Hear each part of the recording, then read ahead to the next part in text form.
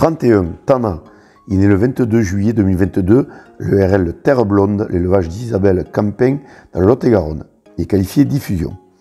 C'est un fils de l'incontournable Largo, ce fils d'Hannibal sur Dom Tom diffusé à Nia et utilisé surtout sur Génis, qui fabrique des arrière-mains de grande qualité.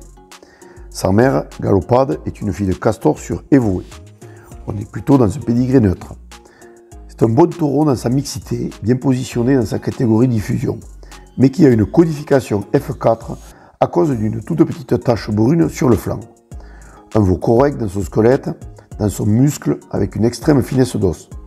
Malgré des pointages moyens, son potentiel musculaire est bien là, très marqué dans son épaule et son dos qui est large et musclé. Il est bien emmanché dans son arrière-main avec du bassin, de la cuisse et des sillons bien marqués. Sa couleur de robe est superbe, froment clair et nuancé. Pas grand chose à rajouter, car les images ont dû vous parler et vous convaincre.